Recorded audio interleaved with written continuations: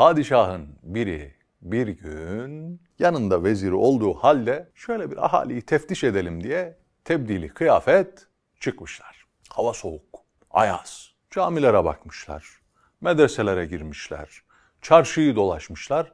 Yolları bir dere kenarına düşmüş. O soğuk havada ihtiyar bir debba eline almış derileri vuruyor taşlara, vuruyor taşlara. Şimdi padişahın dikkatini çekmiş. Vezire demiş ki gel hele. Debba ihtiyara doğru yaklaşmışlar. Padişah bakmış. Selamun aleyküm ey pirifani demiş. İhtiyar şöyle bir işini bırakıp dönüp baksak ya ayağa kalkmış hürmetle. Ve aleyküm selam ey serdar cihan. Vezir şaşırmış. Lan bu ihtiyar tebdili kıyafet padişah nasıl tanıdı? Padişah gözüyle vezire bakmış. İhtiyara sormuş. Altılarda ne yaptın? Hünkârım, altıyı altıya katmayınca 32 yetmiyor. Vezir iyice şaşırmış. Buna ne konuşuyorlar?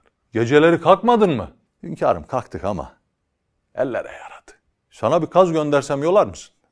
Hem de hiç ciyaklatmadan inkar demiş. Neyse vedalaşıp ayrılmışlar. Giderken padişah vezirine dönmüş. Vezir efendi demiş. En yakınım olmak itibariyle benim neyi dediğimi, niye dediğimi, söylediğim sözden muradımın ne olduğunu en ziyade bilmesi gereken sensin değil mi? Beli hünkârım demiş vezir sevinerek. Peki biz o ihtiyarla ne konuştuk? Hünkârım, hünkârım ben ne? Baka vezir efendi. Bu gece yarısına kadar benim o ihtiyarla ne konuştuğumu öğrendin, öğrendin. Öğrenmedin yakarım çıranı. Veziri almış bir telaş. Baş üstüne hünkârım demiş. Padişahı saraya teslim ettikten sonra vezir yanına adamlarını almış koşa koşa dere kenarına akşam hava kararmak üzere ihtiyar deri dövmeye devam ediyor. Oh demiş elhamdülillah yetiştik. Yaklaşmış. Selamun aleyküm erenler demiş. İhtiyar aleyküm selam erenlere gönül verenler demiş. Yahu baba düştüm ocağına demiş. Biz geldik padişahla ben veziriyim o hünkâr. Ama tebdili kıyafetiz. Şimdi onun padişah olduğunu benden başka bilen yok. Ama sen döndün ey serdarı cihan diye aldın selamı. Nasıl tanıdın sen hünkârı? Vezirim demiş. Ben dericiyim. Bu ülkede o deriyi ya padişah giyer ya veziri giyer. Baktım ki sen ona hürmet ediyorsun. Ha padişah budur dedim. Onun için ey serdarı cihan diye aldım selam. Vezir birinci meseleyi çözdük diye mutlu bir şekilde. Peki demiş bir bir şey vardı.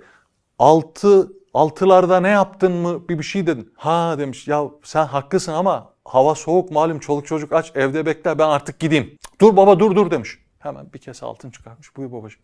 Hünkâr sordu demiş. Ya altı ay yazın ne yaptın çalışmadın mı da altı ay kışta çalışmak zorunda kalıyorsun. Ben de dedim ki altıyı altıya katmayınca 32 dişe yetmiyor geçinemiyoruz. Vezir ikinciyi de öğrendim demiş sevinç içinde.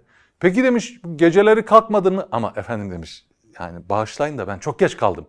Dur dur demiş bir kese altında almış ihtiyar. Sordu demiş ya bu yaşa gelmişsin. Kışın ortası hala çalışıyorsun. Çoluk çocuk yok mu? Geceleri kalkmadın mı? Çoluğun çocuğun olmadı mı? Ben de dedim ki kalktık ama ellere yaradı.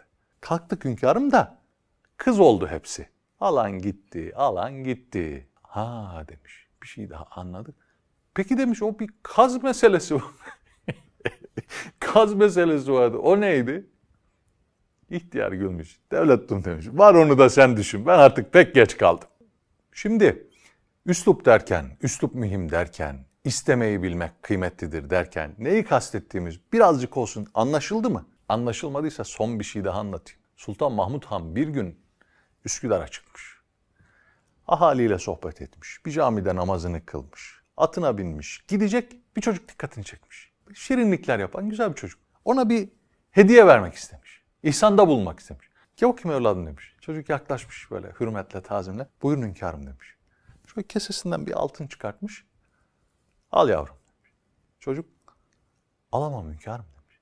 Alamam deyince padişah da şaşırmış, hal de şaşırmış. Niye alamıyorsun? Al yavrum demiş. Niye almıyorsun? Efendim şimdi eve gideceğim. Bir ton soru soracaklar. Bunu kim verdi diyecekler. Nereden buldun diyecekler. Niye durduk yere? Yani bağışlayın ama ben alamam. Al evladım al demiş. Padişah verdi dersin. Ya ama efendim demiş hani bizimkiler padişahın verince bir tek altın vermeyeceğini bilirler. Ha demiş padişah çıkartmış. Keseyi uzatmış.